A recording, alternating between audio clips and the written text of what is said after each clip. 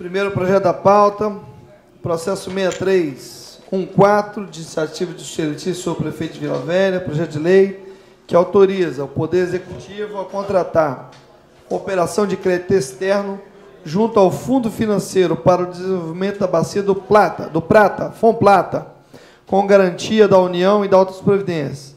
Em virtude do projeto tramitar em regime de urgência, não apareceres das comissões de Justiça, Administração e Finanças, o quórum, a maioria absoluta e a votação nominal.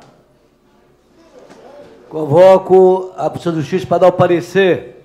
Vereador Reginaldo Almeida, Rogério Cardoso, Arnaldinho Bogo.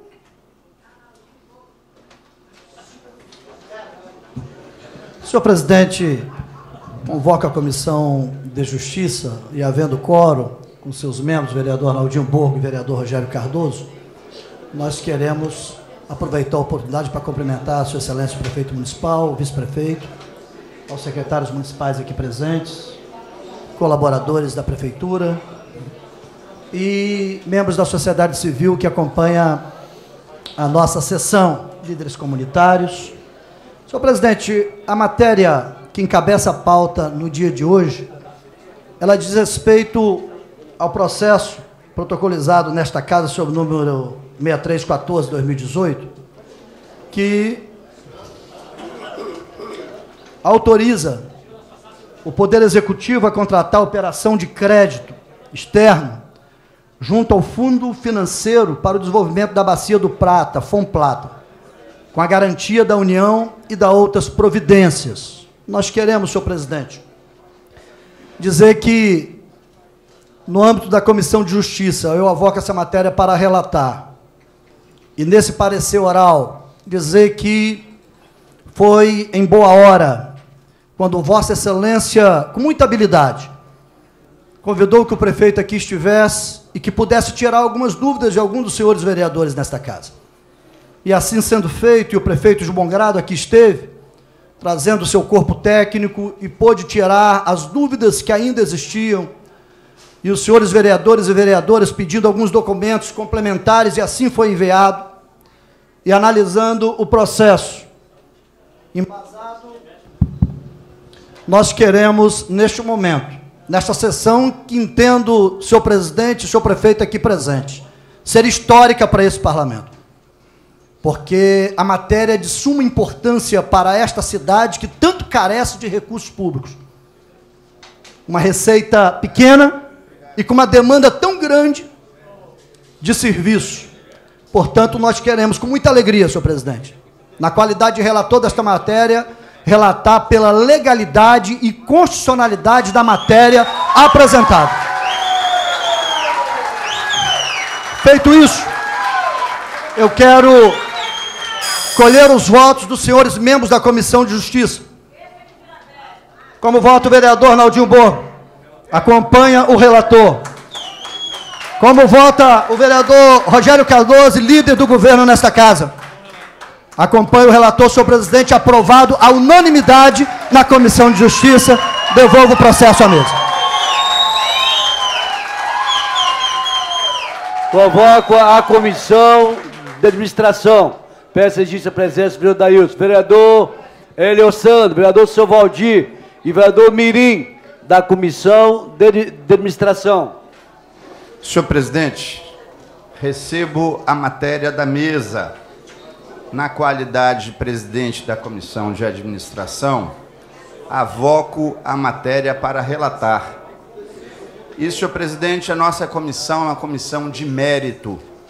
A nossa comissão não fala na legalidade, na constitucionalidade, na boa técnica da matéria vinda do Poder Executivo. E por compromisso nosso, feito na sua presença com o prefeito municipal, fizemos o compromisso de também em respeito a diversos cidadãos, alô? A diversos cidadãos, votarmos sempre, e sempre foi uma fala recorrente, a favor da matéria no mérito. E é o que faço. Alô?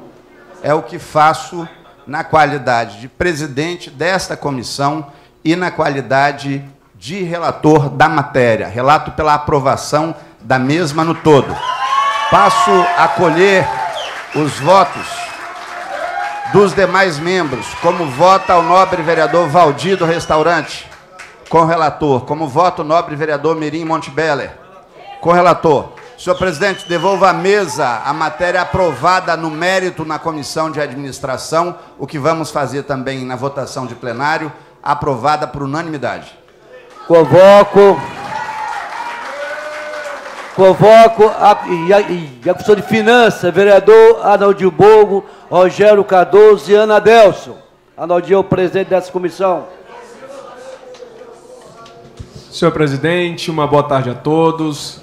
Quero aqui saudar o nosso prefeito, Max Filho, o nosso vice-prefeito, Jorge Carreta, todo o seu secretariado e staff da Prefeitura Municipal, a todos os funcionários e a todos que se encontram hoje aqui na nossa galeria, num dia histórico para a nossa cidade, que é a votação desse financiamento para investimento em diversas regiões de nossa cidade aqui em Vila Velha. Como já foi dito por outros vereadores, Vila Velha que carece de alguns recursos de investimentos para aplicação de melhorias e bem-estar para a população.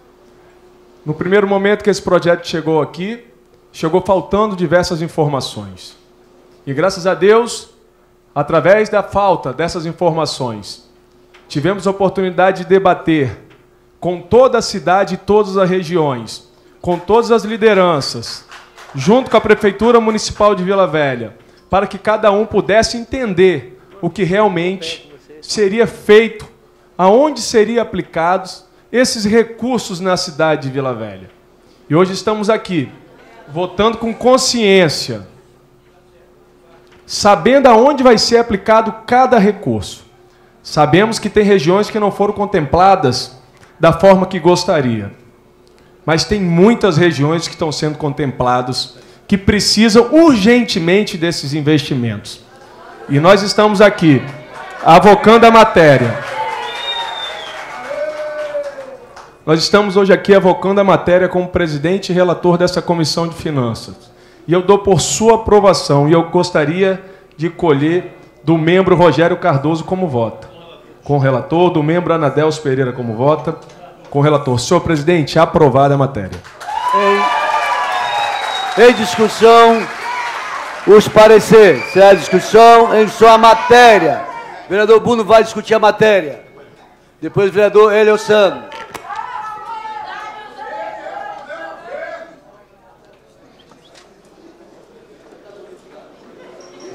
Senhor presidente, senhores vereadores, saudar o prefeito Max Filho, que nos visita hoje, saudar o vice-prefeito Jorge Carreta, ex-vereador dessa casa, foi vereador com meu pai, com você também, com outros vereadores, mas Jorge Carreta, que hoje é vice-prefeito, teve essa, essa oportunidade, meu pai teve essa oportunidade de ter sido vereador junto com ele. Saudar os vereadores, os secretários municipais na pessoa do secretário Rafael Gumiero, a gente sauda todos os secretários que estão presentes. É, a minha fala inicial é de esclarecimento.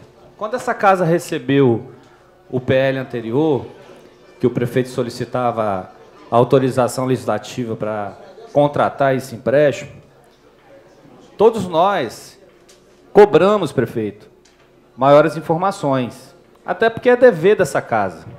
É de responsabilidade dessa casa que as matérias que chegam até estes vereadores sejam analisadas com responsabilidades, com a boa técnica, para que a gente não possa colocar o município em desarranjo.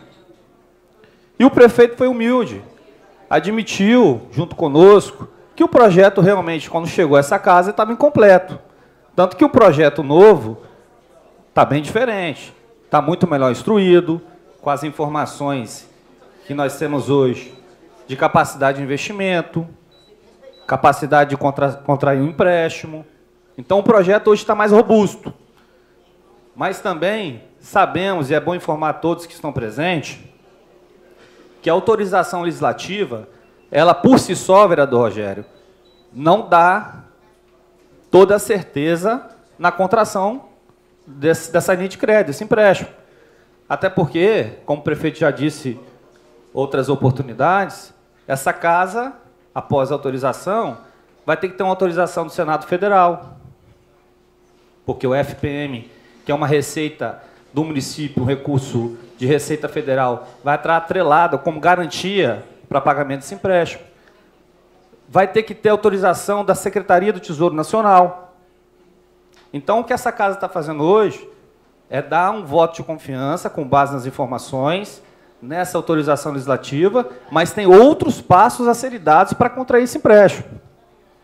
Então, quero dizer que no primeiro momento, quando votamos, e votamos com muita tranquilidade, no parecer da Comissão de Justiça, na rejeição do primeiro PL, possibilitou, como o vereador Arnaldinho disse, sentarmos com as comunidades que estiveram aqui presentes, debatermos melhor o projeto, ouvirmos melhor todas as regiões da cidade, para depois chegarmos no entendimento que esse empréstimo é importante. Vila Velha carece de infraestrutura. Porém, vou votar a favor da matéria, já digo, eu te marco, vou votar a favor. Mas gostaria de deixar uma fala aqui, prefeito, que nós vamos cobrar também, e vou deixar de antemão, eu acho que é o papel dessa casa, a fiscalização da execução dessas obras. Porque não adianta só contrair um empréstimo, botar o recurso no caixa licitar e depois não entregar para a população de Vila Velha. Então nós temos que ter responsabilidade também que essas obras saiam do papel. E eu vou estar aqui vigilante para que isso aconteça. Uma outra questão, prefeito, que eu queria deixar aqui uma mensagem. Sabemos da importância dessa, desse, dessa linha de crédito no momento para a cidade. Mas nós temos que virar a página de Vila Velha, e todos nós vereadores discutimos isso aqui diariamente. O prefeito também tem essa visão de trazer investimentos para a cidade. A Câmara de Vila Velha, com discussão com a sociedade civil organizada, aprovou um novo núcleo de tecnologia, inovação tecnológica, economia criativa na cidade de Vila Velha. Eu vou dar um exemplo para vocês. Esse núcleo, essa, essa região onde vai ficar possibilitado empreendedores chegarem para a cidade, fica ali na região 5, às margens da Rodovia do Sol. Só para vocês terem uma ideia, esse mesmo núcleo foi criado em Florianópolis, há 20 anos atrás. Hoje, esse núcleo de educação, de, de inovação tecnológica e economia criativa, representa três vezes mais arrecadação, presidente Macarnini, do ISS do município, do que o próprio turismo da cidade, que é muito pujante. Florianópolis é uma cidade pujante no turismo. Então, nós temos que trazer, prefeito, é, e acho que é responsabilidade de todos nós, Câmara, Prefeitura e a sociedade civil, novos empreendimentos da cidade, para que no futuro nós não tenhamos necessidade de contrair empréstimo. Tenhamos um caixa mais robusto e que possamos fazer os investimentos com recursos próprios e trazer mais investimentos e recursos de serviços de infraestrutura para todo morador de Vila Velha. Muito obrigado. Vereador Helio Sando.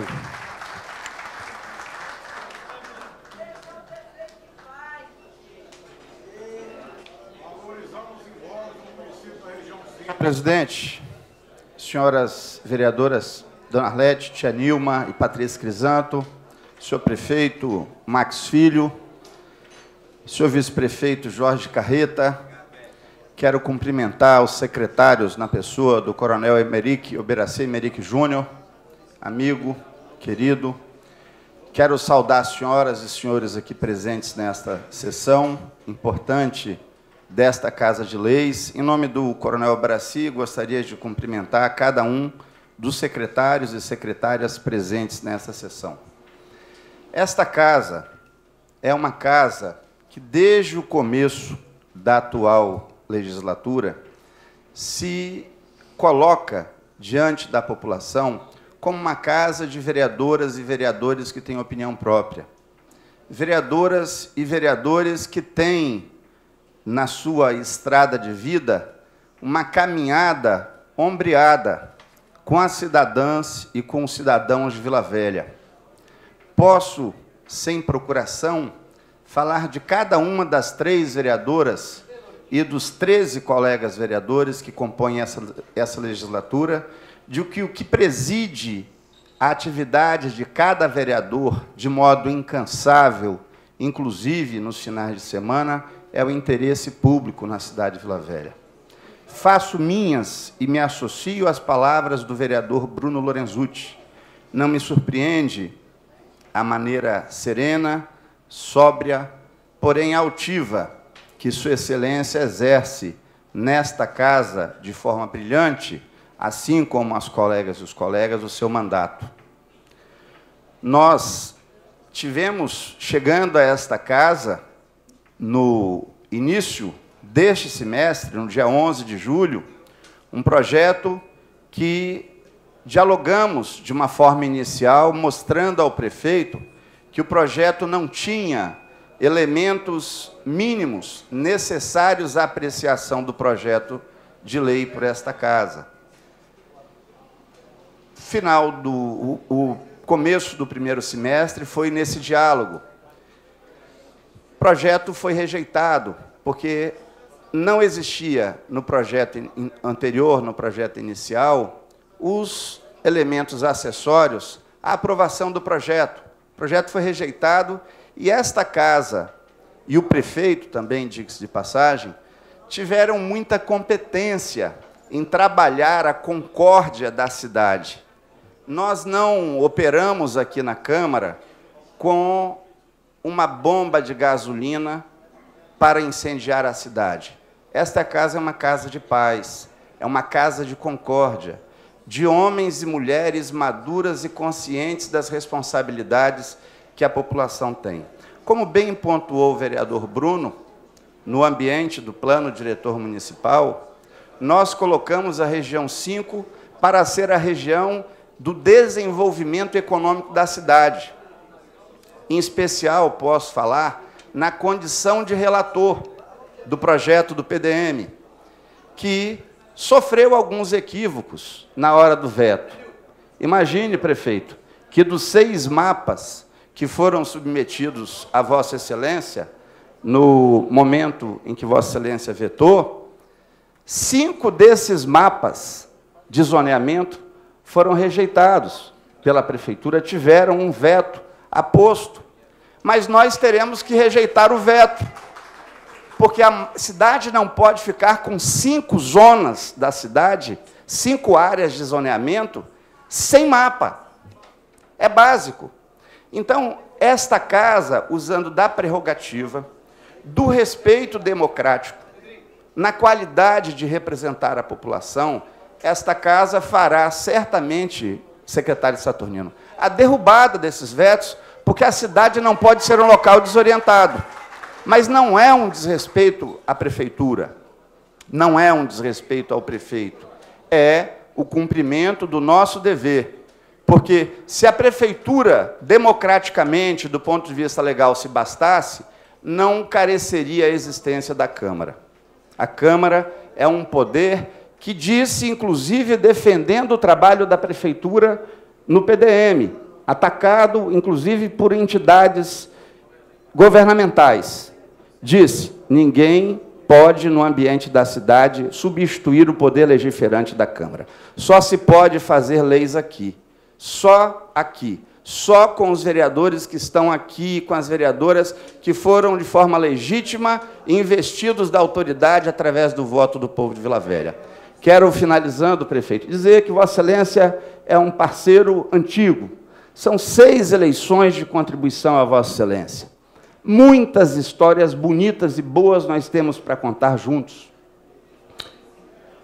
Vem à minha memória os 15 dias que passei dormindo na calçada em frente à Assembleia Legislativa, fazendo uma vigília para que o mandato de deputado estadual e os direitos políticos do cidadão Max Freitas Mauro Filho não fossem caçados pela Assembleia, para que o mesmo pudesse disputar as eleições de 2000 como disputou, ganhar como ganhou, ser empossado e trabalhar como foi empossado e trabalhou.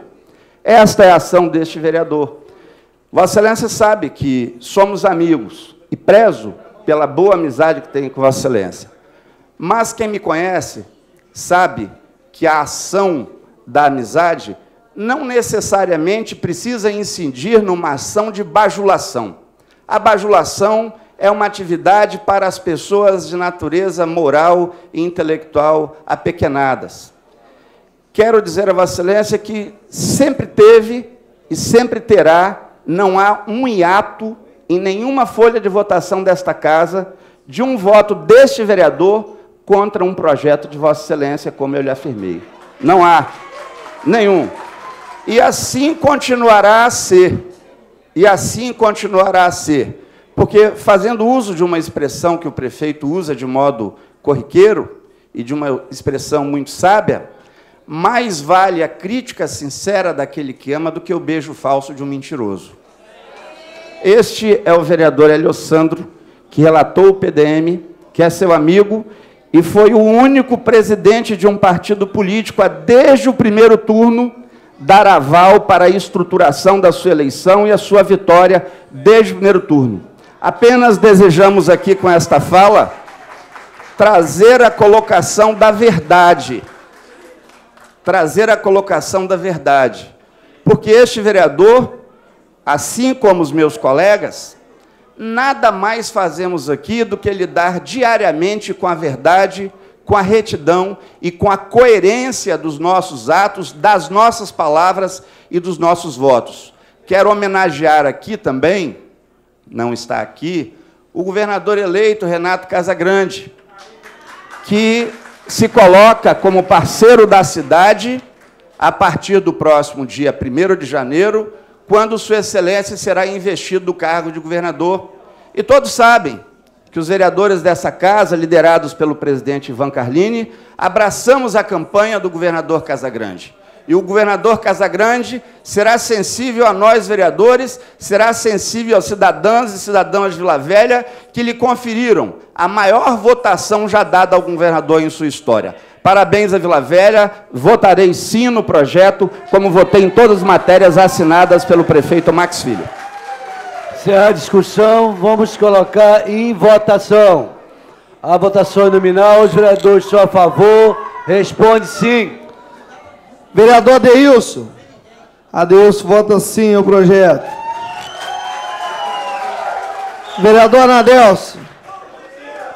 Vereador Anadelso vota sim. Vereador Arnaldinho Borgo. Sim. Vereador Bruno Lorenzotti. Sim. Vereadora Dona Arlete. Sim. Presidente Ivan Carlini. Sim. Sim. Vereador Mirim Monteverde. Sim. Vereador Oswaldo Maturano vota sim. Vereadora Patrícia Crisano. Sim. Vereadora Patrícia vota sim. PM Chico. Sim. Vereador Professor Alessandro. Também sim. Vereador Reginaldo Almeida. Também sim. Vereador Quiabai. Também sim. Nosso líder, vereador Rogério. Sim. Tia Nilma. Também sim. Vereador Valdir do Restaurante. Também sim. Vereador Zé do Renascer. Sim. Senhor presidente, a unanimidade, 17 senhores vereadores votaram sim. Aprovado.